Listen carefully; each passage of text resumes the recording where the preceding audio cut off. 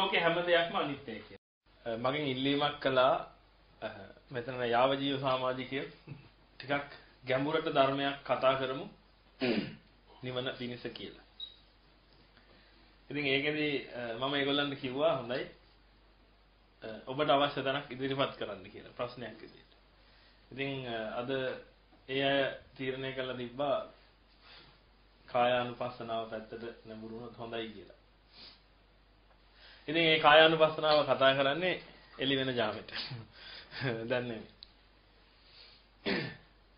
ඉතින් මුලින් මොකද මම එකපාරට කායානුපස්සනාව කතා කරන්නේ නැතුව ඉන්න හදන්නේ. අලුතෙන් ආපු අය ඉන්නවා. ඒ අයට ධර්මයේ පිළිබඳ යම් යම් ගැටලු තියෙන පුළුවන්. ඒ ගැටලු විසඳ ගන්න තියෙන හොඳම අවස්ථාවක් තමයි මේක. කායානුපස්සනාව පටන් ගත්තට පස්සේ අපි හොදේ කතා කරන්නේ කායානුපස්සනාව ගැන. එතකොට එතනින් එහාට තියෙන ප්‍රශ්න මොනවා හරි තියෙනවා නම් කරගන්න බැරි වෙනවා. එතන කායානුපස්සනාව කියලා කියන්නේ ටිකක් ගැඹුරු ධර්ම කාරණාවක්. ඒ ගැඹුරු ධර්ම කාරණාවට එන්නේ ඉස්සෙල්ලා Tamanට එක එක නානාවිද ප්‍රශ්න තියෙන්න පුළුවන්. ඉතින් මේ ප්‍රශ්න අපි ඉස්සෙල්ලා කතා කරමු. මම දන්න විදිහට උත්තර දෙන්න. ඒක නිසා Tamanට නිවන සම්බන්ධව Taman අහලා තියෙන කරුණු කාරණා. ඕ ලෝකයේ සම්බන්ධ වුණත් කමක් නැහැ මුල් ටිකේ. ලෝකයේ සම්බන්ධව Taman අහලා තියෙනවා එක එක දේවල්. අපේ පැරණි අයගේ විශ්වාස තියෙනවා. ඈ නේද? ග්‍රහයෝ කියලා කියයි, භූතයෝ කියලා කියයි, අමනුෂ්‍යයෝ කියලා කියයි. ඒවා ලෝකේ හා සම්බන්ධ දේවල්. ඒ වගේම ලෝකෙන් ඈතර වෙන්න සම්බන්ධ දේවල් තියෙනවා. අනිත්‍ය දුක්ඛ අනාත්ම ස්වභාවය ගැන මේ ලෝකේ තියෙන. සෝතාපන්න ආර්ය ශ්‍රාවකයාගේ නේද? ආදී වශයෙන් විශාල ප්‍රමාණයක් ධර්මයේ ඔබ අහලා ඇති. ඉතින් මේ අහපු ධර්මය මනාකොට කැටි කරගන්න. මොකද මෙතන මම විතරක් නෙමෙයි ධර්මදරායේ ඉන්නවා මේ ධර්මයේ ඇසුරක බොහෝ කාලයක ඉඳලා ඇසුරු කරන.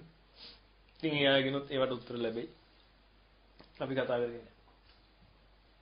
බෞද්ධයෙක් නිහිලිසම් ප්‍රැක්ටිස් කරලා කොහොමද නිවන් දකින්නේ? නිහිලිසම් කියන්නේ සියලු දේම අනිත්‍යයි. ඉස්සර මම ගිටාර් ගහන්න ආසයි. දැන් මට ඒක එපා වෙලා ඒ ගැන වැඩි මට හිතෙනවා මේ කරන එකේ තේරුමක් නැහැ. ඒක බෞද්ධ මතයට හරිද? කියන්නේ අතෑරීම. ඒ විදිහට එපා වෙලා වේම හරිද කියලා. ඔව්. දැන් අපි මේක මේ විදිහට කතා කරමු. ලෝකේ පවතින මතයක් තියෙනවනේ. අනිත්‍ය කියලා. නේද? බෞද්ධයෙක්ට ප්‍රියමනාපම වචන කියන්නේ බොහොම ළඟම ඇසුරු කරන වචනේ තමයි බෞද්ධයෙක් මොකක් කියලාද? අනිත්‍ය කියලා. මේ ලෝකේ හැම දෙයක්ම අනිත්‍යයි කියලා. ඒකේ වැරද්දක් නැහැ මේ ලෝකේ හැම දෙයක්ම අනිත්‍යයි තමයි. ඒ අනිත්‍ය වෙච්ච දේ මේ ලෝකයේ තියෙන වස්තුන්ට ස්වභාවික දෙයක්. මේ ලෝකයේ තියෙන සෑම වස්තුවකටම ස්වභාවික දෙයක් තමයි අනිත්‍ය වෙච්ච දේ. නමුත් තථාගතයන් වහන්සේ ඔතන පාවිච්චි කරපු වචනේ අනිත්‍ය නෙමෙයි. අනිච්ච. අනිච්ච කියන වචනේ සරල සිංහලට ගමොත් අනිසි කියන දේ. නිසි නෑ කියන දේ. තමන් වසඟේ පවත්වන්න බෑ කියන දේ. අන්න එතනින් ඒක තේරුම් ගන්න බලන්න. දැන් යද නිච්ඡන් තන් දුක්ඛ. යමක් අනිච්ච නම් ඒක දුකයි. ඒ පාලි වාක්‍ය තේරුම ඒක. යමක් අනිච්ච නම් ඒක දුකයි. එතකොට රහතන් වහන්සේටත් දුක තියෙනවද? නැහැ. ශාරීරික දුකක් හැරුණාම ශාරීරික දුකක් කියලා කියන්නේ තද බල ඔලුවකක් වුමත් තිබ්බොත් රහතන් වහන්සේටත් ඒක වේදනාවක් තමයි. ඒ වේදනාව නිසා දුකක් ඇති වෙනවා. ඒක ශාරීරිකයි. නමුත් රහතන් වහන්සේට මානසික දුකක් තියෙනවා. දැන් අපිට තියෙන දුක් ගැන බැලුවට පස්සේ මානසික දුකද ශාරීරික දුකද වැඩි? ඔළුව කැක්කමක් හැදෙලා එල්ලිලා මැරිච්ච කවුරුද අහලා තියෙනවද? බඩේ අමාරුවක් හැදෙලා එල්ලිලා මැරිච්ච කවුරුද අහලා තියෙනවද? නැහැ. නමුත් පෙම්වතා දාලා ගියා කියලා එල්ලිලා මැරිච්ච පෙම්වතියු නැද්ද? අම්මා ගැහුවා කියලා මේ ඇඟේ වේදනාවට නෙමෙයි. අම්මා මට ගැහුවා හැමෝම ඉස්සරහා කියලා එල්ලිලා මැරිච්ච ළමයි නැද්ද? ඉන්නවා. මේ හැම දෙයක්ම සීමා 99ක් වේදනාවල් අපිට ඇති වෙන හිතට. එතකොට රහතන් වහන්සේ ගත්තාම රහතන් වහන්සේට දුක නැද්ද? ශාරීරික දුක හැරුණාට පස්සේ අනිත් දුකක් නෑ නේද රහතන් වහන්සේට? නේද යද නිච්ඡන් තන් දුක්ඛ. යමක් අනිච්ච නම් ඒක දුකයි කියලා සත්‍යගතයන් වහන්සේ කියනවා. එහෙනම් රහතන් වහන්සේලට දුක නැද්ද? හිතලා බලන්න හොඳ හොඳ හොඳ තැනක් මේ. එතකොට මේ ලෝකේ තියෙන සියලු දේ ස්වභාවය තමයි අනිත්‍ය ස්වභාවය. ඒක ඒක හරි. නමුත් බුදුහාමුදුරුවෝ කිව්වේ අනිත්‍ය ස්වභාවය බලන්න කියලා නෙමෙයි. මම මේ මේ මේ සමාජයේ පවතින ධර්මයට විරුද්ධව යනවා නෙමෙයි. මේක පැටලිලා තියෙන්නේ. ඒ පැටලුම අරගන්න බැරි වුණොත් මහා විනාශයක් කියන අද සතිපට්ඨාන සූත්‍රය ගැන අපි පොඩ්ඩක් කතා කරගෙන යද්දි කායානුපස්සනාව කතා කරගෙන යද්දි තේරෙයි ඒක හොඳටම. ඔන්න ඔතන මුල වැරදුනා නම් ප්ලේන් එකක් ටේක් ඔෆ් කරද්දි එක අංශකයක් මෙහෙට ටේක් ඔෆ් කළොත් මොකද වෙන්නේ? ඇමරිකාව යන්න තියෙන එක ඕස්ට්‍රේලියාව යන්න නතර වෙන්න ගිහිල්ලා. ඔන්න ඔය දේ තමයි වෙන්නේ. අද අනිත්‍ය කියන දේ ඔළුවට ගත්තොත් ඒක හරි. දැන් ඔබටත් තේරෙනවා අනිත්‍ය අනිත්‍යයි නේ. මේ මේ මේ හැම එකක්ම අනිත්‍යයි. ස්ථිර නැහැ. ඒක හරි අපි දන්නවා. කොයි වෙලාවෙ හෝ කැඩිලා බිඳිලා යනවා. මේ ශරීර කොයි වෙලාවෙ හෝ කැඩිලා බිඳිලා යනවා. කැඩිලා බිඳිලා යන්නට කිසිම දෙයක් මේ ලෝකේ නැහැ. ඒක ඇත්ත. නමුත් තථාගතවරු ලෝකේ පහළ වුණේ ඕක පෙන්වන්න නෙමෙයි. ඇයි මේක ඉස්සෙල්ලා අනිත්‍ය බව දැනගෙන හිටියේ නැද්ද? මේක ඉස්සෙල්ලා මිනිස්සු මැරෙන බව මිනිස්සු දැනගෙන හිටියේ නැද්ද? එතන මිනිස්සු නිත්‍යයි කියලාද කිය කී හිටියේ? එතන අජිත කේසකම්බල එහෙම නැත්නම් නිගණ්ඨනාථ පුත්‍ර සංජය බෙල්ලට්ටි පුත්‍ර වගේ මේ ගුරුවරු ඒ කාලේ පහළ වෙලා හිටියේ. නේද? ඉතින් ඔය තියෙන අනිත්‍ය ස්වභාවය දැනගෙන නෙමෙයි. මේ නිත්‍ය නෑ කියලා දැනගෙන නෙමෙයි. මේක මේක මේක දුකක් මේක නෙමෙයි තියෙන වෙන සැපක් තියෙනවා මේක හොයාගමු අපි කියලා. නේද? මේ මැරෙනවානේ අපි කී කී හිටියා ඒගොල්ලෝ. ඒතර ඒගොල්ලන්ගෙත් ඔය අනිත්‍ය ස්වභාවය කියන එක ඒගොල්ලන්ගේ හිතේ තිබ්බා. නමුත් තථාගතයන් වහන්සේ ලෝකේ පහළ වෙලා කිව්වේ මොකද්ද? අනිත්‍ය ඒක හරි. නමුත් උන්වහන්සේ කිව්වේ මොකද්ද? අනිච්චයි. මේක නිසි නෑ. පාවිච්චියට නිසි නෑ. භාවිතයට නිසි නෑ. මේ ලෝකේ තියෙන කිසිම දෙයක්. එතකොට එතකොට ඉච්ඡ කියලා කියන්නේ මොකක්ද? ඉච්ඡ කියන්නේ තමන් කැමැත්ත. ඒතර මේ කිසි දෙයක් තමන්ගේ කැමැත්තට නෑ. හවුද නැද්ද? තමන්ගේ කැමැත්තට තියෙන එක දෙයක් කිය. තමන්ගේ කැමැත්තට අනුව තියාගෙන ඉන්න පුළුවන් එක දෙයක් කිය. දරුවා පුළුවන් තමන්ගේ කැමැත්තට අනුව තියාගන්න. නෑ. ඇස් දෙක තමන්ගේ කැමැත්තට අනුව තියාගන්න පුළුවන්. එරයි ඉන්නේ අර කන්නඩි සාප්පු ඕනේ නේද? ඈ කෙස් ගහ තමන්ගේ මතන තියාගන්න පුළුවන්. ඒ කිසි දෙයක් තමන්ගේ මතන තියාගන්න බෑ. ඒ කියන්නේ නිසි නෑ. මේ කිසි දෙයක් පරිහරණයට නිසි දේවල් නෙමෙයි කියන එක තමයි සත්‍යගතයන් වහන්සේ කිව්වේ. ඔන්න ඔතනින් තමයි තණ්හාව නිරෝධ වෙන්නේ. මේ ලෝකේ හැම දෙයක්ම අනිත්‍යයි කියලා හිතාගත්තට තණ්හාව නිරෝධ වෙන්නේ කොහොමද? මේක අනිත්‍යයි. ඉතින් මේක ස්ථිර නෑ. ඔව් මේක කරනනම් මම තව එකක් ගන්නවා. ස්ථිර නෑ. එතනින් තණ්හා නිරෝධ වෙනවා. නිවන කියලා කියන්නේ තණ්හා නිරෝධය. තමන්ට තණ්හාව සහ මුලින්ම නැති කළා දාන්න පුළුවන්. ඒකනේ දුක්ඛ සමුදය කියලා කිව්වේ බුදුහාම. මේ දුකට හේතුව කියලා කිව්වේ යායන් තණ්හා පෝනෝ භවිකා නන්දි රාග ලහගතා తත්‍ර తත්‍ර අභිනන්දනි. ඒ ඒ තැන්වල ඇතිවෙමින් ඒ ඒ තැන්වල අභිනන්දනය කරන දෙයක් තියෙනවා. මේකට කියන තණ්හාව කියලා. ඔන්න ඔය ඒ ඒ තැන්හි හා වෙන ස්වභාවය නැති කරගන්න කියලා තමයි බුදුහාමුදුරුවෝ කිව්වේ. ඒතර ඒ ඒ ඒ තැන්හි හා වෙන ස්වභාවය නැති කරගන්න පුළුවන් මේක අනිත්‍යයි කියලා මෙනෙහි කරලා. මේක අනිච්චයි කියලා මෙනෙහි කරොත් එහෙනම් මොකද වෙන්නේ? මම දන්නවා මේක අනිච්චයි. මේක මගේ වශයෙන් පවත්වන්න බෑ. පාවිච්චියට නිසි දෙයක් නෙමෙයි මේක. එහෙනම් මේක ගත්තත් එකයි මම තව එකක් ගත්තත් එකයි. මේක නැති වෙලා යනකොට මම තව එකක් ගන්නවා. ඒත් එකයි. එහෙනම් අනිච්ච ස්වභාවයේ තියෙන වස්තුවේ නෙමෙයි. අනිච්ච කියන ස්වභාවය තියෙන්නේ කොහෙද? Tamange හිතේ. ඒක නිසා තමයි රහතන් වහන්සේ අනිච්ච කියන ස්වභාවය අයින් කළා දාලා තියෙන නිසා රහතන් වහන්සේට මොකක් නැත්තේද? දුක නැත්තේ. නමුත් රහතන් වහන්සේටත් අම්මා අනිත්‍ය නැද්ද? රහතන් වහන්සේ පාවිච්චි කරන කන්න පාවිච්චි කරන දේ පාත්‍රය ගත්තොත් ඒක අනිත්‍ය නැද්ද? අනිත්‍යයි. එහෙනම් උන්වහන්සේ දුකටපත් වෙනවද ඒක නිසා? නෑ. එහෙනම් අනිත්‍ය ස්වභාවයෙන් නෙමෙයි අපි දුකටපත් වෙන්නේ අනිච්ච ස්වභාවය නිසා.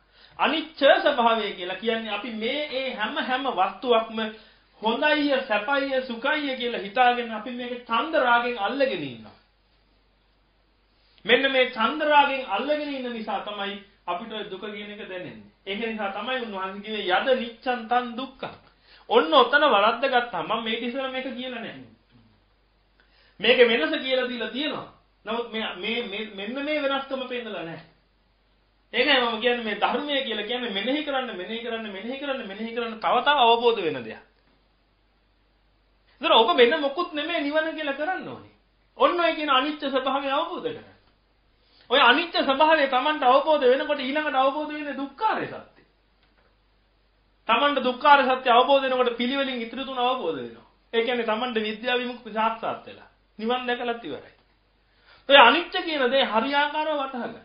හැමතැනම අපි සතර සතිපට්ඨානේ කායානුපස්සනාව කළත් වේදනානුපස්සනාව කළත් චිත්තානුපස්සනාව කළත් ධම්මානුපස්සනාව කළත් අන්තිමට මොකක්ද අපි කරන්නේ? මේ ලෝකයේ තියෙන සෑම වස්තුවක්ම අනිත්‍යයි කියලා අවබෝධ කරගන්න. අනිත්‍යයි කියලා කියන්නේ ඉච්ඡ නෑ එහෙම නැත්නම් නිසි නෑ. අනිසි දේවල් කියලා. මේ අනිසි දෙයක් පරිහරණය කළොත් මොකද වෙන්නේ? අරක්කු අනිසිද නිසිද? සරලව ගමු. අනිසි. අනිසි. එතන අරක්කු ගොඩාක් දීපු කෙනාට මොකද වෙන්නේ? එයාට හොඳ දෙයක් දුක සහගත දෙයක්ද සැප සහගත දෙයක්ද එයාට වෙන්නේ? ඈ දුක සහගත දෙයක්. නේද? ඒක බීලා එක වාහනේ හම්බ ගනි නැත්නම් මේ තමන්ගේ වයිෆ්ට ගහයි ළමයින්ට ගහයි ළමයි දාලයයි වයිෆ් දාලයයි නේද? ඔය වගේ දේවල් සිද්ධ වෙයි. එහෙනම් අනිසි දෙයක් පරිහරණය කළොත් මොකද වෙන්නේ? දුකටපත් වෙන එකයි වෙන්නේ. ඉතින් අපි අද අනිසි දෙයක්නේ පරිහරණය කරන්නේ. නමුත් අපි දන්නේ නැහැ මේක අනිසි කියලා. එන්න ඒක නිසා තමයි පින්වතුනි මූලික වශයෙන් අපි කරන්න ඕනේ ඔන්න ඔය දේ මේක නිසිද අනිසිද කියලා තේරුම් ගන්න. මේ හැම දෙයකින්ම අපි කරන්නේ මේක නිසිද අනිසිද කියලා තේරුම් ගන්න. යම් කිසි කෙනෙකුට නිවන් දකින්න ඕන නම් එයා මූලික වශයෙන් කළ යුත්තේ සහ අවසාන වශයෙන් කළ යුත්තේ ඔන්න ඕක. මේක නිසිද අනිසිද බව තේරුම් ගැනීම. අද සම්පූර්ණයෙන්ම මේ අර පොඩි පොඩ්ඩක් හැරිච්ච එයාක්‍රාෆ්ට් එක දැන් ගිහිල්ලා ඉවරයි ඈතට. අනිත්‍ය දුක්ඛ අනාත්ත කියලා දේශනා කරන එක දැක අනිත්‍යයි දුකයි අනාත්මයි කියලා හදාගත්තා. ආත්මයි අනාත්මයි කියලා දෙකක් හදාගත්තා. ඔය ආත්ම අනාත්ම සංකල්පය තථාගතයන් වහන්සේ දේශනා කළා නැහැ. බුදුහාමුදුරුවෝ කියන්නේ ආත්මත් නැහැ අනාත්මත් නැහැ. මේකට ආත්ම අනාත්ම කියන්න එපා. එහෙම කියලා කතා කරන්න පුළුවන් දෙයක් ගැන නෙමෙයි මේ කියන්නේ කියලා. ආත්මයි කියලා කියන්නේ ස්ථිර වශයෙන් හැමදාම පවතින දෙයක් තියෙනවා. අනාත්මයි කියලා කියන්නේ මෙතනින් පස්සේ ඉවරයි. බුදුහාමුදුරුවෝ කියනවා නචසෝ නචඤ්ඤෝ මේ මැරිලා උපදින එක ඒ හිතිය එකක් නෙමෙයි. හැබැයි වෙන කෙනෙකුත් නෙමෙයි. ඒකෙන් කියන්නේ මේ මේ පවතින සිත් પરම්පරාවක් කියන්නේ. එකිනෙකට ඈඳිච්ච සිත් પરම්පරාවක්. බල්ලෙක් මැරිලා මිනිස්සෙක් වෙලා ඉපදුනහම කකුලක් උස්සලා නෙමෙයි චූ කරන්නේ. නේද? මිනිස්සේ ඕන තරම් ඇටි ගියාත් මේ බල්ලෝ වෙලා හිටපො. නමුත් මිනිස්සේ කකුලක් උස්සලා උස්සලා චූ කරන අපි දැකලා නැහැ. නේද? එහෙනම් නචසෝ නචඤ්ඤෝ හැබැයි අර බල්ලගේ ගතිගුණ තාම තියෙනවා. ඌ තාමත් බලුවඩ දෙනවා. අර කුටිකක් ගහගෙන කෙල්ල ටිකක් යනකොට සරම් මෙතනට උස්සගෙන යනවා. අර තාමත් අර කරපු බලුවඩ ටික කරනවා. කෙල්ලෙක් දැක්කම ගාගෙන යනවා පස්සේ. තාමත් අර බලුවර රැළ කණිය ගිය ස්වභාවය තාමත් තියෙනවා හිතේ. නමුත් ඒක තියෙනවා. නමුත් අර හැම ගතියක්මත් නැහැ. ඒක කියන නතසෝ නච අන්නෝ. එතකොට එහෙම ගත්තොත් එහෙම නිකන් හිතලා බලන්න මේක ආත්මයි නා. අර බල්ලා එහෙම වෙන්න බෑ. ඌ තාම කකුල් හතරෙන් එපා යන්න. නේද? ඒතර අනාත්මයි නා. අර බල්ලේ කියලා කිසි දෙයක් මෙතන තියෙන විදිහකුත් නැහැ. අර එතන බල්ල බල්ලෙන් ඉවරයි. එතනින් ආවෙ එහාට ආවෙ නැත්තම්. නේද? එහෙනම් ආත්ම අනාත්ම ස්වභාවයක් ගැන බුදුහාමුදුරුවෝ කිව්වේ නැහැ. එතන ඔය අනත්ත කියලා කියන්නේ මොකද්ද? අනිත්‍ය කියන්නේ අනිසි. පාවිච්චිට සුදුසු නැහැ. එතකොට පාවිච්චිට සුදුසු නැති දෙයක් පාවිච්චි කළොත් යද නිච්ඡන් තන් දුක්ඛන් යන් දුක්ඛන් තද නත්තා. කියන්නේ සුදුසු නැති දෙයක් පාවිච්චි කිරීමෙන් අපි දුකට වැටෙනවා. ඔව් දුකට වැටෙනවා. දුකට වැටෙන දේවල් අනර්ථ කරයි. අර්ථයක් නැහැ. අර්ථයක් නැහැ. දුකට වැටීම අර්ථයක් නැහැ. දුකට වැටුණාට පස්සේ මොකද වෙන්නේ? නෑ දුකට වැටෙන දෙයක් හැමතිස්සෙම ආශ්‍රය කරන එක. අර්ථවත් දෙයක් කරන්නේ. ඈ තමන්ව නිතර නිතර දුකටපත් කරන දෙයක් නිතර නිතර අසුරු කරනවා. ඒක මේ සාරූ දෙයක්ද මේ කරන්නේ? අසාරූ දෙයක්ද? ඔන්න ඔය තුන තමයි අවබෝධ කරගන්න. එතකොට ඕකෙන් ගත්තට පස්සේ තමන්ගේ ශරීරය ගැන හිතලා බලන්න. ඔතනින් කායානුපස්සනාවට ගියේ. තමන්ගේ ශරීරය ගැන හිතලා බලන්න. මේ ශරීරයට අපි කොච්චර ආදරේද? මේ ලෝකේ කෙනෙක් වැඩිපුරම ආදරය කරන්නේ මොකටද? ළමයාටද? ඈ තමන්ගේ ශරීරයට. වෙන මොහොකටවත් නෙමෙයි. කෝටි ගණන් ධනෙ රැස් කරගෙන හිටියත් තමන් වැඩි පුරාදර කරන තමන්ගේ ශරීරය. නේද? ඇඟිල්ල කුණු වේගෙන එනවා. මෙතන ඉඳලා මෙතනට කුණු වේගෙන යනකොට දොස්තරලා කියනවා මේ කපන්න කෝටියක් යනවා කෝටිය දෙනවද? දෙනවද නැද්ද? දෙනවා. ඊට කඩන් ටික විකුණලා හරි ඒ ටික දෙනවා. ඒ ටික දීලා මේ ඇඟිල්ල බේර ගන්නවා. හවුද නැද්ද? ඒක තමයි අපේ ස්වභාවය. මේ ශරීරයට තමයි අපි වැඩිපුර බැඳිලා තියෙන්නේ. එතකොට මේ ශරීරය හොඳයි සැපයි කියලා හිතාගෙනයි අපි ඉන්නේ. ඒක නිසා තමයි වෙනම කායානුපස්සනාවක් උන්වහන්සේ දේශනා කළේ. මේ කයට තියෙන දැඩි ඇල්මක් තියෙනවා අපි. එතකොට මේක අනිසි බව අවබෝධ කරගන්න නොගන්නා තාක්කල් අපි ඔය හතර අපායේ නිරේ දුක් විඳින්න වෙනවා අපිට. එහෙන් දිව්‍ය ලෝකෙට යයි එහෙන් තව කොට හරියයි ආයෙම චක්‍රයේ කැරි කැරි මේ සංසාරයේ චක්‍රයේ කැරි කැරි ඉන්න වෙනවා. එතකොට මේ කවදා හරි දවසක නිසි මේක නිසි දෙයක් නෙමෙයි මේක අනිසි දෙයක් බව අවබෝධ කරගත්තා. අන්න තමන් හරි තැනට ආවා. එතකොට මේක අනිසි දෙයක් බව අවබෝධ කරගත්තා නම් අර ඒකට තිබිච්ච චන්දරාගය මක් වෙලා යනවද? නැති වෙලා යනවා. දැන් මේක නිකන් හිතලා බලන්න. මේක අනක්කු. එතන මේකට අපි චන්දරාගයෙන් බැඳිලා තියෙනකල් මේක හොඳයි මේක සුඛයි මේක අත්තයි කියලා හිතාගෙන ඉන්නකල් මේකට අපි බැඳිලා ඉන්නේ. අන්න බලන්න නිච්ච මේ නිච්චයි කියලා හිතාගෙන ඉන්න අපි දැන්. මේක නිසි දෙයක් කියලා හිතාගෙන ඉන්නවා. දැන් මේක එකපාරටම මොකක් හරි වෙලා වැටිලා මේකේ කකුලක් කඩලා යනවා මොකක් හරි. දැන් අධික වේදනාවටපත් වුණා නේද? ඇයි මේක නිසි දෙයක් කියලා හිතාගෙන හිටමු නිසා. මේක අනිසි දෙයක් කියලා හිතාගෙන හිටියනම් මේක තියෙන විදිහට තියෙන්න දෙනවා. නමුත් මේක නිසි නැති බව අවබෝධ කරගෙන තියෙනවා. ඡය වෙලා යන දෙයක් බව අවබෝධ කරගෙන තියෙනවා. එතන නිසි නැති බව අවබෝධ කරගත්ත ගමන් අන්න තමන්න දැනනවා right මේක හැබැයි මේක තාමත් එහෙමම තියෙනවා. මේක කිසි දෙයක් වෙලා නැහැ. මේකෙන් ගන්න ප්‍රයෝජනේ තාමත් ගන්නවා. මේක අනිත්‍යයි. ඒකත් හරි. මේක කොහේ හරි කැඩලත් යනවා. ප්‍රශ්නකුත් නෑ. කැඩිච්ච දවසට කරනවා. ඒකම නැච්චරයි. ඇයි ඒ? මේක මෙතන තිබිතර චන්දරාගය කියන එක කල්ලා දාලා තිබ්බේ. ඒක නිසා මේක නිසායි කවදාකවත් දුකක් ගේනවද අපිට ජීවිතේට? නෑ.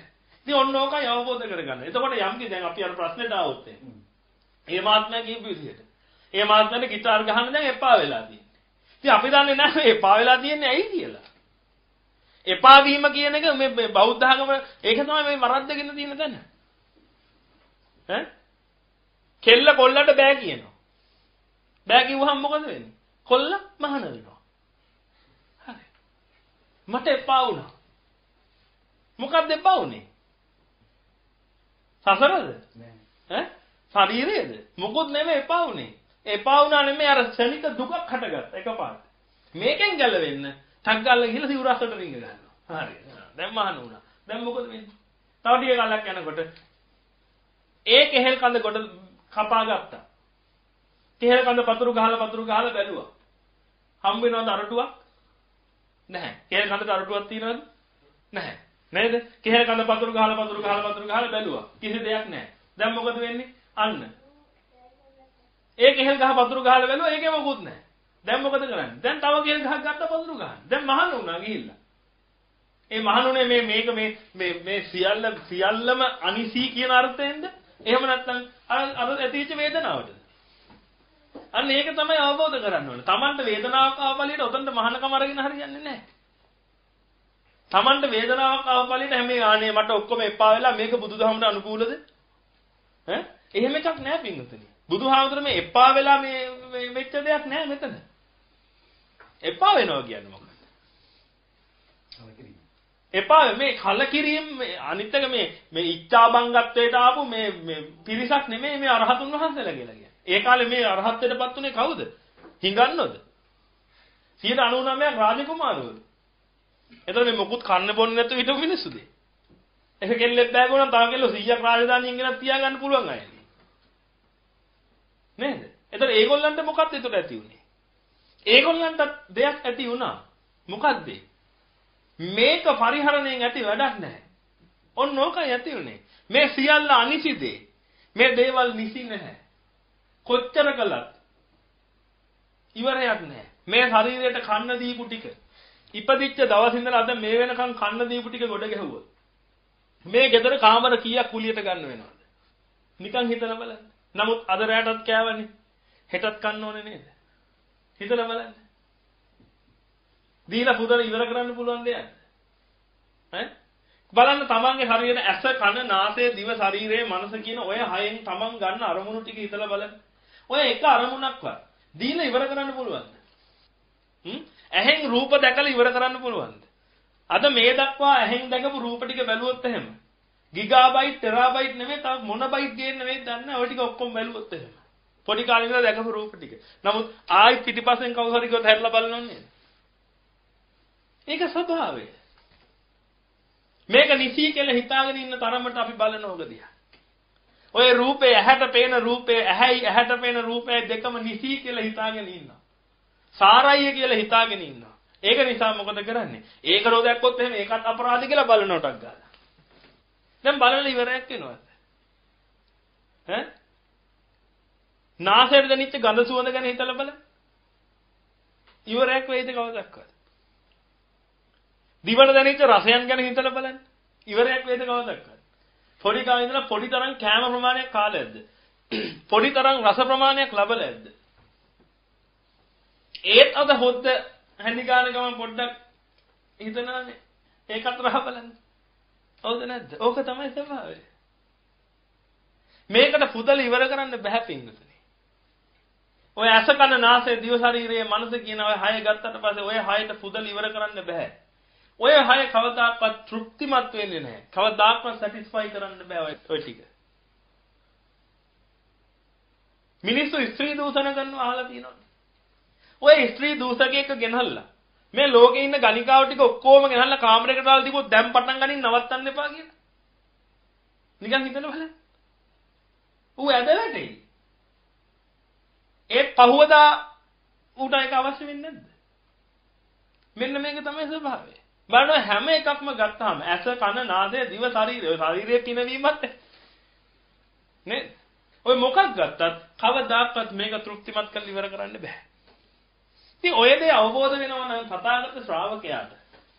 එතන මුලින්ම තමන් අවබෝධ කරගන්නවා මොකද්ද මේ මට එපා වෙලා තියෙන්නේ කියලා. ඒක එපා වෙලා තියෙන්නේ ඇයි කියන එක තමන් අවබෝධ කරගන්නවා. ඔව්. තමන්ට තමන්ට දෙයක් එපා වෙන්න පුළුවන්. තමන් බිස්නස් එකක් කළා ඒකෙන් පාඩුයි දැන් එපා වුණා. ඒ එපා වුණේ හසර නෙමෙයි. ඒකේ යථා ස්වභාවය නෙමෙයි දැනුනේ. මොකද්ද? තමන්ට ඒක අප්‍රිය වුණා. තමන් ආදරෙන් බිරින්දෑවක් ගෙනාවා. ඒ බිරින්දෑව වෙන මිනිහෙක් එක්ක සම්බන්ධකමක් පවත්ව ගත්තා. දැන් මොකද උනේ? දැන් එපා වුණේ කාවද? අර බිරින්දෑගේ ස්වභාවය එපා වුණේ. ඒක සසර එපා වුණේ නැහැ. ඒක නිසා එහෙම කෙනෙක් සිවුරට ගියාට පස්සේ මොකද වෙන්නේ? එතනින් එහාට කරන්න පුළුවන් අලුකුත් දරුවට ඔක්කොම ටික කරනවා. ඇයි? දහම් අවබෝධකින් එතනට ගියා නෙමෙයි. මේ පොඩි දෙයක් එපා වුණා. එපා වෙලා සිවුර පෙරව ගත්තා. එතනින් එහාට දෙන්දින් මොකද කරන්නේ? ඒ අනිත් ටික එපා වෙලා නැහැ. ඒතර එපා වෙනවා කියන එකේ අර්ථය අප්‍රිය වෙනවා කියන එක නෙමෙයි. එපා වෙනවා කියලා කියන්නේ මේකේ තියෙන ඇත්ත ඇති සැටියෙන් අවබෝධ වුණාට පස්සේ එපා වෙනවා ඒ එපා වෙන එපා විල්ලායි සතහටම එපා තමයි. මේක ඇති මෙන්න මේකේ තියෙන අනිසි ස්වභාවය අවබෝධ වෙනවා මේකේ තියෙන අනිසි ස්වභාවය අවබෝධ වෙනවා මේකේ තියෙන අනිසි ස්වභාවය අවබෝධ වෙනවා. මේකේ තියෙන අනිසි ස්වභාවයත් අවබෝධ වෙනවා. මේ හිතන සිතුවිලි වල තියෙන අනිසි ස්වභාවයත් අවබෝධ වෙනවා. ඇඟට දැනෙන දේ තියෙන අනිසි ස්වභාවයත් අවබෝධ වෙනවා. අන්තිමට මේ තියෙන ධර්මතාවයන්ගේ තියෙන අනිසි ස්වභාවයත් අවබෝධ වෙනවා. ඔය සියල්ල අවබෝධ වුණාට පස්සේ දැන් අල්ලන්න දෙයක් තියෙනවද? දැන් මොකක් අල්ලන්නද? දැන් අනිසි බව අවබෝධ වෙලා ඉවරයි. මේ කෙස් අනිසි බව අවබෝධ වෙලා ඉවරයි. කෙස් නිසි නැති බව. මේ කෙස් කියන්නේ මොකද්ද කියලා අවබෝධ වෙලා ඉවරයි. කෙස් එකක් නෙමෙයි කෙස් රොක්ත බැහැලිලා ගියා. දැන් ඒ ගැන වද වෙනවද? නැහැ. ඇයි අවබෝධ වෙලා ඉන්නේ. දැන් මෙහෙමයි. ඔබට හිතෙන්න පුළුවන් අම්බෝ මගේ කෙස් ටික හැමනොත් මන්නම් බෙල්ලිලා මැරෙනවා කියලා. හිතෙන්න පුළුවන්. නමුත් ඔබ හරියාකාරව මේක තේරුම් ගත්තදාට මේක ප්‍රත්‍යක්ෂ ඥාණයට අවබෝධ වෙනවා. දැන් මම මේ කියන දේ ඔබ හිතාගෙන හිතාගෙන හිතාගෙන යනවා. ඔබට අනුමාන ඥාණයෙන් ඒක තේරෙන්න ගන්නි. තව ටිකකින්. මොකද්ද මෙයා මේ කියන්නේ කියලා. ඒකට කියන්නේ අනුමාන ඥානය කියලා. අනුමාන ඥාණයෙන් ඔබ හිතාගෙන යද්දී ඊට පස්සේ ඔබ මේක නිරන්තරයෙන් මෙනෙහි කරන්න ගත්තට පස්සේ ඔබට ප්‍රත්‍යක්ෂ ඥානය අවබෝධ වෙනවා. ඒ කියන්නේ ඔබ ප්‍රත්‍යක්ෂ වශයෙන් මේක අවබෝධ කරගන්නවා මේක නම් නිසි නෑ කියලා. මේක නම් අනිසිමයි කියලා. අන්න එතකොට අර චන්දරාගෙන් ගැලවිලා යනවා. එතකොට මේ හැම බුදුහාමුදුරුවෝ කියන්නේ මොකද්ද? මේ හැම දෙයක්ම ඇති වෙන්නේ හිතේ. සංකප්ප රාගෝ පුරිසස්ස කාමෝ. මේ මිනිස්යාට ඇති වෙන රාගය නැත්තම් කාමය කියලා කියන්නේ මොකද්ද? සංකල්පීය රාගයක් විතරයි. ලස්සන ස්ත්‍රියාවක් දැක්කට පස්සේ පුරුෂයෙකුට කාමයක් ඇති වෙන්න පුළුවන්.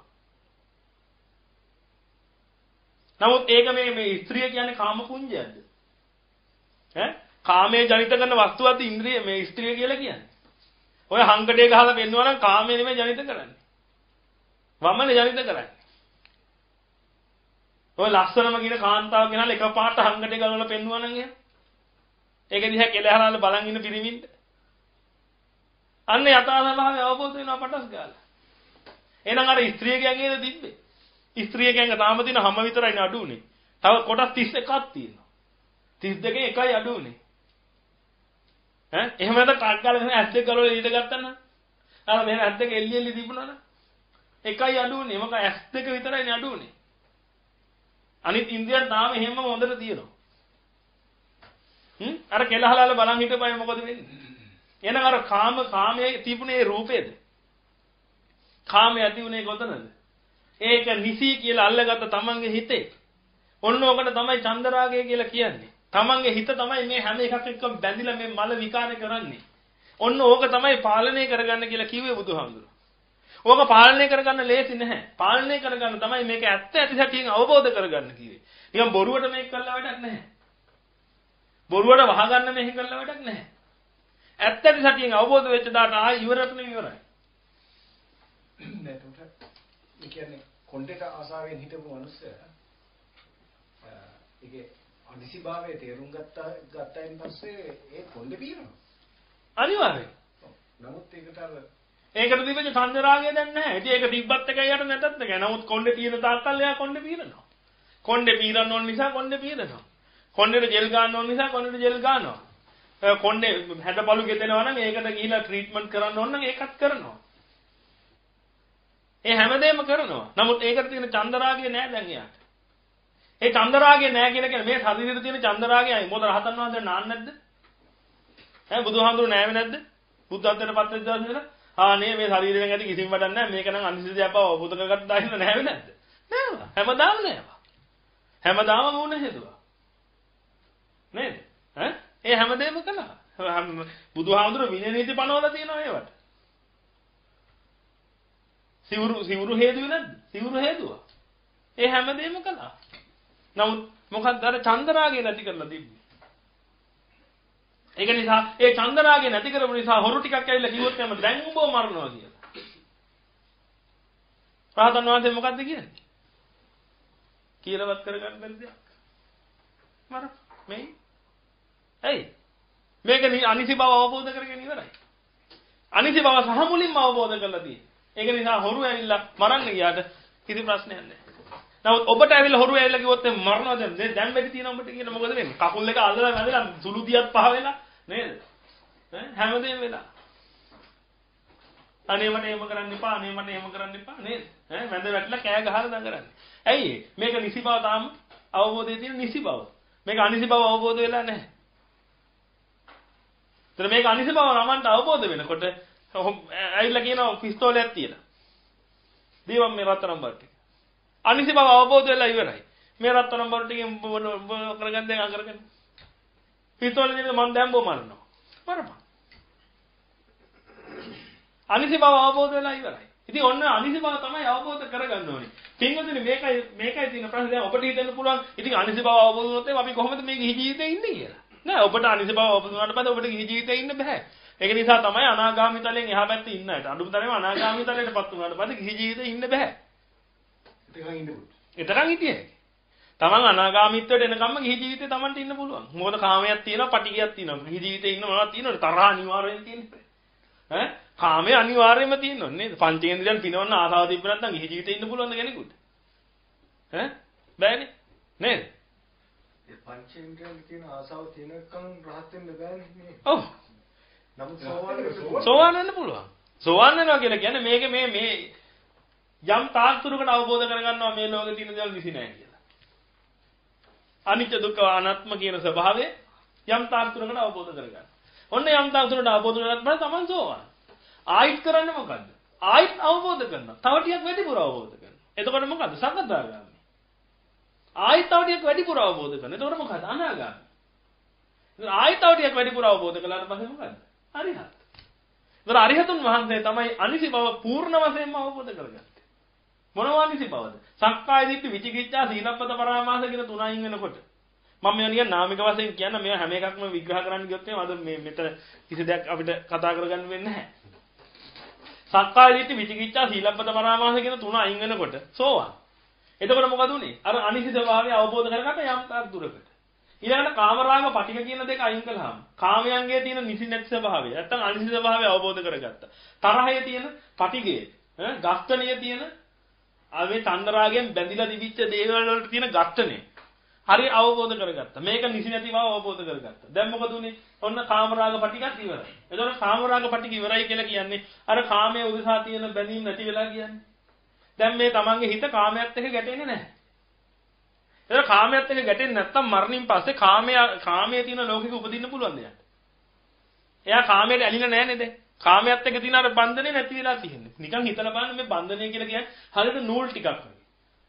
ඔබ මේක හිතලා බැලුවොත් එහෙම මේක දැන් නයියයි ගෙදර නම් මේ නයියයි ගෙදර තියා ඉන්නේ මේ හැම දෙයකම චන්දරාගෙන් නම් මේ හැම එකක් එක්කම නූල් බැඳලා තියෙනවා කියලා හිතන්න. හ්ම් මේකත් එක්කත් බැඳලා තියෙනවා මේකත් එක්කත් බැඳලා මොකද චන්දරාගෙන් බැඳලා තියෙන්නේ. ඔය ප්‍රශ්නේ තියෙන්නේ මේ වස්තුවේ නෙමෙයි. මෙන්න මේ ඡන්ද මෙන්න මේ අර නූලේ. බුදුහාමුදුරුවෝ කියන්නේ මේ වස්තුව බින්දින්න කියලා නෙමෙයි. ඉස්ලාම් ධර්මයේ ඔය වගේ පොඩි තැනක් තියෙනවා. ස්ත්‍රියව වහනවා සම්පූර්ණයෙන්. මොකටද? පුරුෂයන්ට වැඩ කරන්න හම්බෙන්නේ නැහැ ස්ත්‍රියෝ දිහා බලන් ඉන්නවා කියලා. ස්ත්‍රියව වහනවා. ඉතින් ඔක හරියද නැද්ද? ස්ත්‍රියව වහලා වැඩක් කරන්න තමන්ගේ හැද්දක වහගෙන වැඩකුත් නැහැ. මොකද්ද තියෙන්නේ? ඒකයි මේ තථාගතයන් වහන්සේගේ ධර්මයේ තියෙන සුවිශේෂීත්වය ඒකයි. මේකේ තියෙන ඇත්ත ඇති සැටියෙන් අවබෝධ කරගන්න. මොකද්ද? සංකල්ප මේක කඩනවා. මේ නූල කඩලා දානවා. නූල කඩලා දැම්ම නම් ස්ත්‍රී ස්ත්‍රී විදිහට ඉන්නවා. තමන් තමන් විදිහට ඉන්නවා. තමන්ගේ ඇස් දෙකත් එහෙමම තියෙනවා. නමුත් අරකට ඒක කිසි බැඳීමක් දෙන්නේ නැහැ. එතකොට මේ නූල කඩන එක ලේසි වැඩක් නෙමෙයි. මේ නූල බැඳිලා තියන්නේ ඇයි? මහා චන්දරාගයෙන් බැඳිලා තියන්නේ. චන්දරාගයෙන් බැඳිලා තියන්නේ ඇයි? මේක හොඳයි කියලා අල්ලගෙන තියෙන නිසා.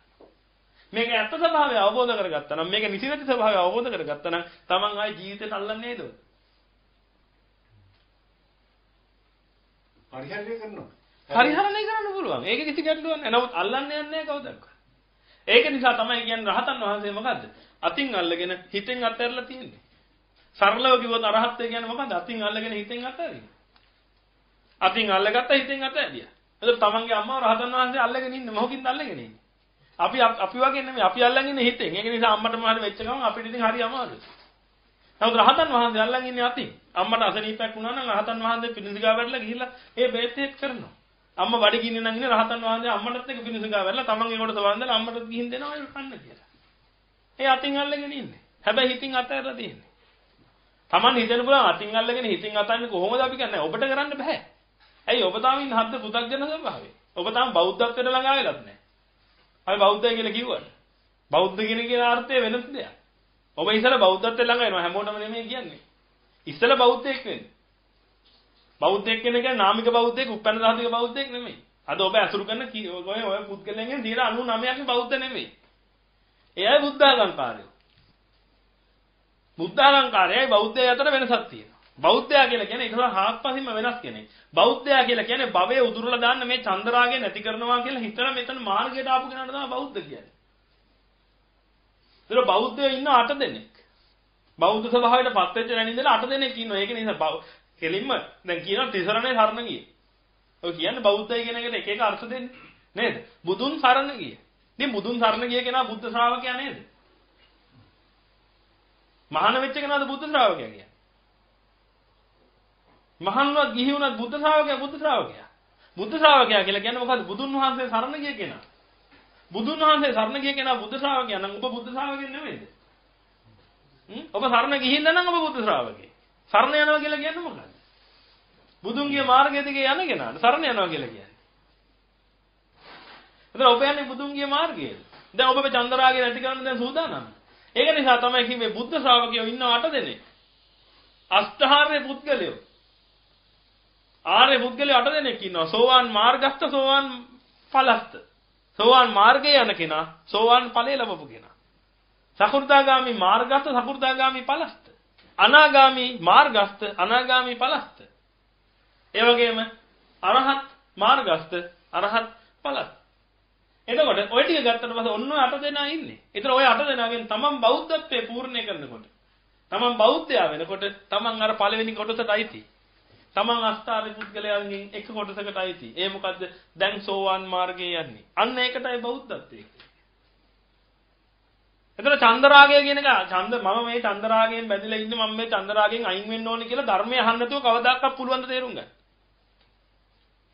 ඒක නිසා තමයි අර අල්ලපු ගෙදර මෙහා ගෙදර එහා ගෙදර ඉන්න සුද්ධයි සුද්ධි කවුරුත් බෞද්ධයෝ නෙවෙන්නේ. එයාට පන්සලට ගිහිල්ලා පන්තිල් සමාදන් වුණා කියලා ඒගොල්ලෝ බෞද්ධ වෙනවද? තේරුම් ගන්න මම මේ කියන දේ. මේක සරලව ගන්න යන්න එපා. බෞද්ධත්වය කියලා කියන්නේ මහා උතුම් දෙයක්. ඒ උතුම් දැන්ට යන්න ලේසි නැහැ. ඉතින් එතනට එන්න try කරන්න. නැත්තම් අපරාධ බෞද්ධයෙක් කියලා ඉපදුන. ඔබ වාසනාවන්තයි. අnder උපැන්න දහස කියන්නේ බෞද්ධ කියලා තියෙන. ඒක නිසා තර්ක මාත්‍රයකින් තොරව ඔබ මේක පිළිගන්නවා. ඔබ ඔබ උපදිනකොට ඔබ වෙන වෙන ආගමක නම් ඊට පස්සේ ඔබට තර්ක කරන්න හිතෙනවා මේකත් එක්ක. එතකොට ඔබට ධර්මය අවබෝධ වෙන ප්‍රමාණය අඩු වෙනවා. ඇයි ඔබ මේක අල්ලන්න හදන්නේ තර්ක කරන්න බලාගෙන? හැමෝම නෙමෙයි. බොහෝ පිරිසක් අල්ලන්න හදන්නේ මේක තර්ක කරන්න බලාගෙන. ඒ තර්ක කරන්න බලාගෙන අල්ලනකොට මොකද වෙන්නේ? ඒකේ වැරදි හොයන්න තමයි ධර්මය මුලින් හොයන්නේ. එතකොට අවබෝධ වෙන්න තියෙන ප්‍රමාණය අඩුයි. ඉතින් ඔබ ඔබ උපැන්න සහතිකේ බෞද්ධයෙක් වෙලා ඉන්න එකේ කොච්චර කොඩිතරම් වාසනාවක්ද? ඉතින් ඒක නිසා බලන්න මේ උපැන්න සහතිකේ බෞද්ධ කියන එක නියම බෞද්ධත්වයට පෙරලන්න. මාත් එක්ක අමනාප වෙන්න එපා. ඔබ බෞද්ධයෙක් නෙමෙයි කියලා හංවඩු ගහනවා නෙමෙයි. ඔබට යථාර්ථය පෙන්වලා දෙන්න හදනවා. කල්යාණ මිත්‍රයෙක් විදිහට. මේකේ තව ටිකක් ඵලය ලබන්න. හැමදාම මම කියන්නසේ තව අවුරුදු 20ක් 25ක් යනකොට මේ බුද්ධ ශාසනය නැති වෙලා යනවා. මේක 2000 ගණන් තියෙන්නේ නැහැ. 2000 ගණන් තියෙනවා පදවැල. අවිජ්ජාපච්චය සංඛාරා සංඛාරපච්චය විඥානං විඥානපච්චය නාම රූපං කිය කිය පදවැල tie 2000ක් යනකම් තමයි. නමුත් ඕකේ තියෙන අර්ථය මක් වෙලා යනවද? තව බොහෝම කාලෙකින් නැති වෙලා යනවා. ඕක නැති වෙච්ච දවස් පරන් ඉතින් ඔය පදවැල කී කී ඉන්නයි තියෙන්නේ. අද පිරිත් කියන්නේ නැති. අද පිරිත් කියනවා කියලා අපි මොකද්ද කියන්නේ? ඔය පදවැල කියාගෙන යනවා. ඒ පිරිත් කියලා කිව්වේ මොනවද කියලාත් අපි අන්තිමට දන්නේ නේද? ඕකනේ යථා ස්වභාවය. ඉතින් ওই ටිකටම තමයි වෙන්නේ ඉතුරු ටිකට. ඔය ඇදින අර්ථ ඔක්කොම යටපත් වෙලා යනවා. මොකද රහතන් වහන්සේලා ලෝකෙට දී වෙන ප්‍රමාණය අඩු වෙනවා. ඇයි ධර්මයෙන් එන්න අර්ථ විරහිත වෙලා යනවා. ධර්මයෙන් හැමම පවතිනවා. බෝ ගල් කොට ගල්වල කොටන්නේ දැන් ගල්වලත් කොටාගෙන යනවනේ. ඉතින් ගල්වල කොටන්නේ දෙයක් නේද? ත්‍රිපිටකේ දැන් ගල්වල කොටනවනේ මේ මම හිතන අපේ මේ ඥානানন্দ හාමුදුරන්ගේ වැඩ පිළිවෙලක් තියෙනවා මම හිතන්නේ. ත්‍රිපිටකේ ගල් ගල් වල කොටනවා ලංකාවේ. ඉතින් බොහොම හොඳ වැඩ පිළිවෙලක්. නමුත් ප්‍රශ්නේ තියෙන අන්තිමට ඉතුරු වෙන්නේ මොකද? අර පදවැල විතරයි. ඒ පදවැලේ අර්ථය දන්න එකෙක්වත් ඉතුරු වෙන්නේ නැහැ. ඉතින් කොහොමද නිවන් දකින්නේ? පිරිත් කිව්ව කියලා නිවන් දකින්නවද? ඈ? අද ඉතින් රහතන් වහන්සේලා කොච්චරක් ඉන්නවද නේද? උදේටත් නැගිට ගමන් පිළිද. මම මෙයාට වැරදි දොස් කියනවා නෙමෙයි. මේව බොහොම හොඳ වැඩ. ධර්ම જાති තුනක් තියෙන. එකක් තමයි හීන දහම්. අනිත් එක තමයි මධ්‍යම දහම්. අනිත් එක තමයි ප්‍රණීත දහම්. එතන හීන දහම් හීන දහම් විදිහට දකින්න. හීන දහම් කියන්නේ මොකද්ද? රාගයට හේතු වෙනවනම්, ද්වේෂයට හේතු වෙනවනම්, මෝහයට හේතු වෙනවනම්, ඔය තුන මොනවද? හීන දහම්. Taman රාගෙන් වැඩ කරන දේවල්. Taman ද්වේෂයෙන් වැඩ කරන දේවල් තියෙනවා. නේද? ගන්නවා පොල්ල. අරුඩු ගන්නවා බෙල්ල කල්ල යන්නේ මම. ඔන්න. ද්වේෂයෙන් වැඩ කරන්නේ. දැන් මොකද්ද? ඒක හීන දහමක්. ඇහැ පිනවන්න ඕන හොඳට. කන පිනවන්න ඕන හොඳට. ශරීරය හොඳට පිනවන්න ඕනේ. හීන දහම්. එතකොට ඔය කියන හීන දහම් මොනවද මධ්‍යම දහම් කියලා කියන්නේ? දන් දෙන්න ඕනේ මං. ඈ සිල් රකින්න ඕනේ මං. වැඩි හිටියන්ට උපස්ථාන කරන්න ඕනේ මං. ඔය මොනවද? මධ්‍යම දහම්. එතකොට එතකොට මධ්‍යම දහම් කියන්නේ නරකේවද? නැහැ. ඒවට තමයි පින් කියලා කියන්නේ. තමන්ගේ පිනවීම උදෙසා මේ භවයේ හෝ මතු භවයේ පිනවීම උදෙසා තමන් කරන ක්‍රියාවලින්ට කියනවා පින් කියලා. පුණ්‍ය ක්‍රියා. පිනවීම උදෙසා කරන ක්‍රියා. ඒතර ඒවෙන් තමන්ව පින වෙනවා. පින වෙන්නේ කො මේ ආත්මේ හෝ ඊළඟ ආත්මේ තමන් ඊළඟ ආත්මේ හෝ නිවන් දක්නා ජාති දක්වා අතරතුර කාලයකදී තමන්ව පිනවන්න පුළුවන්. ඔන්න පින්. ඒවට තමයි මධ්‍යම දහම් කියලා කියන්නේ. එතකොට මේක කතා කරන්නේ මධ්‍යම දහම් ගැන. උදේ නැගිට පිරිත් දැම්මා. උදේ නැගිට අරගෙක් මැරුවා. එහෙම කරන අය ඉන්නවනේ. උදේ නැගිට ගමන් ගවලේ මේ මේ හරක් ගාල්ල ගියා හොඳ නාම්බ වරන් මැරුවා. මරලා එල්ලුවා මේ වෙගේ. එතන එයා ක්‍රියාවලියක් කළා. එතන එයා කලේ මධ්‍යම දහම නෙමෙයි මොකක්ද එයා කලේ හීන දහම. එතන හීන දහම මොනවටද හේතු වෙන්නේ? අප හතර පායට හේතු වෙනවා. හීන දහම. එතන මධ්‍යම දහම ලෞකිකයි. ලෝකයේ සතුයි.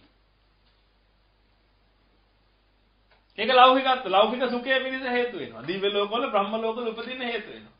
ඊළඟට තියෙනවා ප්‍රණීත දහම් කියලා જાතිය. ප්‍රණීත දහම් කියලා කියන්නේ මොකද්ද? රාගයේ ෂේ වෙන දහමක් තියෙනවනම්, මෝහයේ ෂේ වෙන දහමක් තියෙනවනම්, ද්වේෂයේ ෂේ වෙන දහමක් තියෙනවනම් ඒවට කියන මොන දහම් කියලාද? ප්‍රණීත දහම් කියලා. එතකොට ඔබ බලන්න බෞද්ධත්වයේ ළඟා කරගන්න. බෞද්ධයෙක් වෙලා මම මොකද්ද ඇතුළු කරන්න ඕනේ? හ්ම්? හීන දහම් ඔබ ඇසුරු කරන්නේ නැහැ. ඒකම කොච්චර හොඳ දෙයක්ද? සමහර ඉස්ලාම් ධර්මයේ අදහන අය ඉන්නවා. ධර්මයේ කියවෙනවා කියලා හිතලා ඒ අය හීන දහම් කරන්නේ නැද්ද? ඒ ධර්මයේ කියවෙනවා කියලා කියලා. අපි ඒවට නිග්‍රහ නොකරමු. ආගමක එහෙම දෙයක් කියවෙන විදිහක් නැහැ. ඒගොල්ලෝ හදාගෙන තියෙන දෙයක් කියලා හිතමු. නමුත් ඒගොල්ලෝ ඒක කරන්නේ නැද්ද? ඈ තමන්ගේ ආගමික ශාස්ත්‍රවරයා මතක් කර කර කුකුළුන්ගේ බෙලි කපන්නේ නැද්ද? ඒ දේවල් සිද්ධ වෙනවා. නේද? එතකොට ඒව හීන දහම්. දැන් තව කෙනෙක් උදේ පාන්දර නැගිලා පිළිත් ටිකක් දානවා. ඒක මධ්‍යම දහම්. තව කෙනෙක් උදේ පාන්දර නැගිලා සතිපට්ඨානය වඩන්න පටන් ගන්නවා. ආනාපාන සතිය වඩන්න පටන් ගන්නවා. දැන් මොකද තියෙන්නේ? එතන තියෙන ප්‍රණීත දහම. එතන ඔබ බලන්න ඔබ මොන දහමද ඇසුරු කරන්න ඕන කියලා. වැදගත් දෙමාපියන්ට ජාතක වෙලා මේ ලෝකෙට බිහි වෙච්ච නිසා ඒ වැදගත්කමට ජීවත් වෙලා අද හොඳ නරක කියන්නේ මොකක්ද කියලා Taman දන්නවා. ඒක නිසා Taman තුලින් හීන දහම් සිද්ධ වෙන්න තියෙන ප්‍රතිශතය හරි අඩුයි. හැබැයි හීන දහම් 100ක් නැති වුණා නෙමෙයි. මේක අල්ලගෙන ඉන්න තාක්කල් Tamanට වාසිය ආපු තැනට හීන දහමක් කරනවාම තමයි. මේක නිසි බව නිසි කියලා අවබෝධ වෙලා තියෙන තාක්කල් මෙතන ලොකු නිල් පාට මැණිකක් තිබ්බොත් එම් එක්කද ලොකු කවුරුත් නැත්නම් නැත්නම් ටක් ගාලා දාක් විදා ගන්න ප්‍රමාණයක් අපේ තුල තියෙනවා. දැන් කෙනෙක් හිතනවා නෑ නෑ එහෙම නෑ මං එහෙම නෑ මං එහෙම නෑ. ඒක වහගත්තා.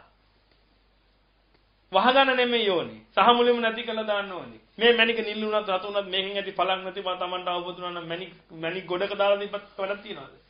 ඊළඟ මේ මැණික ගන්න තව කෙනෙක් පොර ගන්නවා. දැන් මොකද කරන්නේ? දැන් ඊට පස්සේ කූට උපායක් යොදන්නේ නැත්නම් අර මිනිහා මරලා දාන්න. නැත්නම් අර අරුම ධර්ම යන මැණික ගන්න බැරි වෙන මොනවා හරි කරන්න. ඊට පස්සේ යනවා පූජා වට්ටියකුයි මොනවා හරි ටිකක් අරගෙන කොහෙද? දේවාලෙට පලිය ගහන්න. ඈ නැත්නම් කට්ටඩිය හොයාගෙන යනවා. මොකටද හුනියමක් කරන්නේ? දැන් බලන්න ඔක්කොම හීන දහම ඇසුරු කරන්නේ නැද්ද කියලා. එතන හීන දහම ඇසුරු කරන්න හේතුව මොකද්ද?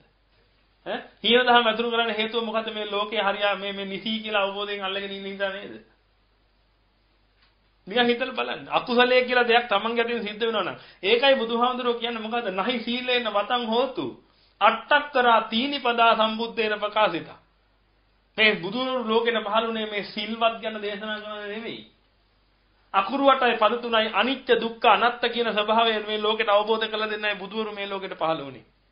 ඒක නිසා තමයි හැමතැනම අනිත්‍ය කියන වචනේ පාවිච්චි කරන්න ඕනේ. මේක අනිසි වශයෙන් අවබෝධ කරගන්න නැති තාක්කල් අපි මේ දස අකුසලයේ කරනවා. කට අරින්නේ මොකටද? බොරු කියන්නේ. ඇයි මේක නිසි.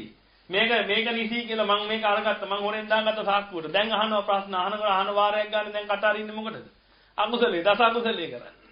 ඇයි මේක නිසි බව නිසි කියලා අල්ලගෙන ඉන්න නිසා. මේක අනිසි බව අල්ලගෙන මේක අනිසි බව තේරුම් ගත්තා නම් මේක මේක ගන්නෙත් නැහැ. එතනින් එහාට මොනව ගන්න බොරු කියන්නේ? මේ අනිත්‍ය දුක්ඛ අනාත්ම වෙච්ච ලෝකේ කිසි දෙයක් නිසි නැති ලෝකේ මගේ වශයෙන් කිසි දෙයක් පවත්වන්න බැරි. නිරන්තරයෙන් මම ඇලුනොත් දුකටපත් වෙන දන හරියට කොහොල්ලේ ගුලියක් වගේ මේ හැම එකක් නේද? හොඳ හොද්දට ඇලෙන කොහොල්ලේ ගුලියකට අතින් ගැහුවොත් මොකද වෙන්නේ? අත ඇලෙනවා. නේද? ඒක ගන්න අනික් අත ගැහුවොත් මොකද වෙන්නේ? ඒකත් ඇලෙනවා. ඔන්න ඔයගේ දුකටපත් වෙන ස්වභාවයක් තියෙන්නේ. සැප කියලා අපි හිතන් ඉන්න හැමතැනම නිසි කියලා සැප කියලා හිතන් ඉන්නවා කියලා කියන්නේ නිසි කියලා හිතන් ඉන්නවා කියන එක. වේද මොකුත් නෙමෙයි. නිසි කියලා හිතන් ඉන්න හැමතැනම Tamanට ආපෝ ගේන්නේ මොකද? දුක. ඒකයි කිව්වේ යද නිච්ඡන් තන් දුක්ඛ. යත නිත්තම් තන් දුක්ඛයි පොඩ්ඩක් යද නිච්ඡන් තන් දුක්ඛ. යමක් අනිච්ච නම් ඒක දුකයි. තමන් වශයෙන් පවත්වන්න බැරි නම් ඒක මොකද වෙන්නේ? දුකයි. ඉතින් ඒක නිසා මේක අසුරු කර අසුරු කළ යුතු දෙයක් නෙමෙයි. හැමතිස්සෙම ඔළුවේ තියාගන්න මේ දේ.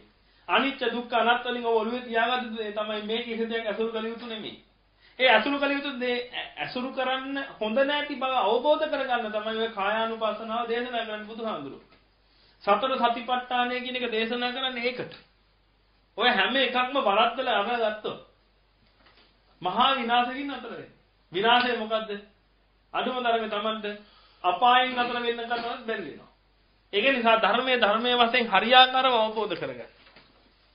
මේ අපි කතා කරන්නේ මේ දෙවිවරු කෝටි ගාණක් මේ ස්ථාන වලට ඇවිල්ලා අහගෙන ඉන්න ධර්මයේ. මිනිස්සු නම් ඉන්නේ බොහොම අඩු ප්‍රමාණයක්. ඒක ස්වභාවය. මේ වගේ රටක මෙච්චර හරි මිනිස්සු ප්‍රමාණයක් බනහනවකම කොච්චර වාසනාවන්ත. නමුත් මේක දෙවිවරුන්ට කොච්චර වටින දෙයක්ද දෙවිවරු ලක්ෂ ගාණක් ඇවිල්ලා අහගෙන නැති මේ දේවල්. දෙවිවරුන්ටත් අවබෝධ කරගන්න බැරුව දිව්‍ය ලෝකෙ ගියේ ඒකයි. නේද? මධ්‍යම දහම ඇසුරු කළා. ප්‍රවිත දහම ඇසුරු කරගන්න බැරි වුණා. ප්‍රවිත දහම ඇසුරු කරා නම් දිව්‍ය ලෝකෙ නතර වෙන්නේ නැහැ නේද? එහෙනම් නිවනෙන් නතර වෙන්නේ. ප්‍රවිත දහම නෙමෙයි ඇසුරු කළේ මධ්‍යම දහම ඇසුරු කළේ දන් දුන්නා සිල් රැක්කා. නේද?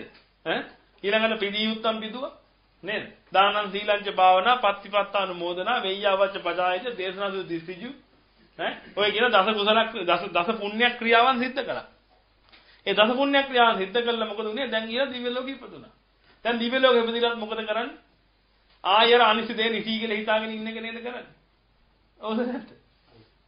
ඈ ඒක නිසා නේද දුකටපත් වෙන්නේ. දැන් දිව්‍ය ශරීරය මේගොල්ලන්ට දිව්‍ය ශරීරයක් තියෙනවා. දැන් ওই දිව්‍ය ශරීරයේ ලස්සන මල් මාලා පහළ වෙලා තියෙනවා. කවුරු කියනලා දාපුවා නෙමෙයි. ලස්සන සුවඳ ගහන මල් මාලා දාලා මේ මේ පහළ වෙලා තියෙනවා ඇඟේ. රත්තරන් පාට සම්පූර්ණයෙන්ම රත්තරන්ින් සරසලා තියෙනවා මුළු ඇඟම. දැක්කාම ඇස් දෙක ඇය විතර ගන්න හිතෙන තරම් ලස්සනයි. නේද? දැන් ඉතින් ওই දිව්‍යමය රූපේ මොකක් කියලාද දැන් හිතාගෙන ඉන්නේ? කිසි දෙයක් කියලා. ඒක නිසා මොකද වෙන්නේ? තව ටික කලක් යනකොට ඈ ආයුෂ ඉවර වෙගෙන යනකොට මොකද වෙන්නේ? අර ඇඟේ තියෙන මල් මාලා පර වෙනවා. දැන් මොකද වෙන්නේ? හරිය දුකක් හිතේ. ඈ අර මේ මනුස්ස ලෝකේ වගේ මේ කුදු ගැහිලා මේ හැම රැලි වැටිලා එහෙමද ඉවරු නැහැ කවුරුත්. නමුත් අර දිවිචාර තේජානුභාවය නැති වෙලා යනවා. ඈ දස දස දිගට විහිදිච්ච ආලෝකයක් තියෙන ශරීරේ. ওই ශරීරයේ තියෙන ආලෝකය ක්‍රමෙන් ක්‍රමෙන් අඩු වෙලා යනවා. ඉතින් ඔන්න ඔය විදිහට මහා දුකකටපත් වෙනවා. නේද? ඊළඟට මොකද වෙන්නේ? බොහොම කෙලිදොලෙන් ගත කරන්නේ. ඈ දිව්‍ය ලෝකේ ඉන්න අය කොහොමද ගත කරන්නේ? බොහොම සන්තෝෂයෙන් පංචකාම සැප සම්පත්තිය උපරිමයටම විඳගෙන ඉන්නේ. ඉතින් ඔහොම විඳගෙන ඉන්නකොට මොකද වෙන්නේ? කුටුස් කාලේ ගියාට පස්සේ පණ ටික දැන් මොකද වෙන්නේ? හ්ම්? කාමයේ අසුමරේ ඉඳපු කෙනා ඈ ඊළ කොහෙද උපදින්නව? නිවනේද උපදින්න? නිවනේද? ඈ බ්‍රහ්ම ලෝකවල උපදින්නද නැහැ. කාමයේ අසුමරේ උපදින්න කාමයේ හා සමාන දැනක උපදින්න ඕනේ. එතන කාමයේ හා සමාන දැනක සමාන කියන හතර අපායදී උපදින්න පුළුවන්. නැත්තම් ඔය ඔය අහස උඩින් යන ගති සම්පත්තිය තියෙන කුරුළු ජෝඩුවක් කියලා උපදින්නත් පුළුවන්. ඈ බොහොම ආදරෙන් වෙලිලා හිටියා දිව්‍ය ලෝකේ. දන්නේම නැතුව දෙන්නගේම ආයුෂ ඉවර වුණා. දැන් මොකද වෙන්නේ? කාමය අසුරු කරගෙන හිටියේ, පහත් දෙයක් කර කර හිටියේ, රාගයට මූලික වෙච්ච දෙයක් කර කර හිටියේ. ඒක නිසා මොකද වෙන්නේ? හ්ම්? ගිහිල්ලා ඒ අහසමාන තැනක උපදුණා ගිහිල්ලා. ඉතින් අර කුරුළු ජෝඩුව ඉපදිලා දැන් ආයෙත් දැන් අර අහසේ ගියා වගේ ආයෙ යනවා. හැබැයි මොකක්ද දැන් තිරසන් යෝනි ඉපදිලා ඉන්නේ. ඉතින් ඕක තමයි ස්වභාවය. Taman දිව්‍ය ලෝකෙට ගියත්, ස්වර්ගයට ගියත් ඔච්චර තමයි ඉතුරු වෙන්නේ. ඔන්න ඔකයි අවබෝධ කරගන්න. ස්වර්ගයට ගියාට පස්සේ ඒක නිසා තමයි කියන්නේ මේ හරි සද්ධර්මයේ දේශනා වෙන තැන්වල දෙවිවරු වඩිනවා. ඇයි? Tamanට අවබෝධ කරගන්න බැරි වෙච්ච දේ මේ මේ මිනිස්සුયો දැන් කතා කරනවා. මම මෙතනට ගිහිල්ලා මේක අහන්න ඕනේ. මට මේක මෙච්චර කල් අවබෝධ වෙලා තිබෙන්නේ නැහැ. මම දැන් අවබෝධ කරගන්න ඕනේ. ඔන්න ඔය අදහසින් යුක්තව ඇවිල්ලා අහගෙන ඉන්නවා. ඔබ මේ කියන දේ ප්‍රැක්ටිස් කරලා බලන්න. මේ ලෝකෙදී හැබැයි මේකයි. මේක ප්‍රත්‍යක්ෂ වශයෙන් අවබෝධ කරගන්න අනුමාන ඥාණයෙන් නෙමෙයි. කිව්වට අවබෝධ කරගෙන හරියන්නේ නැහැ. ප්‍රත්‍යක්ෂ වශයෙන් තමන් අවබෝධ කරගන්න ඕනේ කාරණාවෙන් කාරණාව එකින් එක අරගෙන බලන්න මේ දේවල් නිසිද අනිසිද. පරිහරණයට සුදුසුද නැද්ද කියලා. තමන් හොඳටම දන්නවා පරිහරණය කළොත් දුකටපත් වෙනවා. එහෙනම් පරිහරණය කළොත් දුකටපත් වෙන දේ නිසිද අනිසිද කියලා තමන් අවබෝධ කරගන්න. එහෙනම් තමන් අවබෝධ කර ඒ දේ හරියාකාර අවබෝධ වෙනකොට තමන්ට අවබෝධ වෙන නෑ මේ කිසි දෙයක් නිසි දේවල් නෙමෙයි. නිකන් තමන්ගේ ශරීරය අරගෙන බලන්න. මං එහෙම මේක ටික ටික කායානුපස්සනාවට පෙන්නනවා. Taman ටික ටික අවබෝධ කරගන්න බලන්න Taman මෙච්චර ආදරයෙන් සලකන මේ ශරීරය ගැන. සුනාත ධාරේත චරාත ධම්මේ අහන්න දරන්න ධර්මයේ හැසිරෙන්න.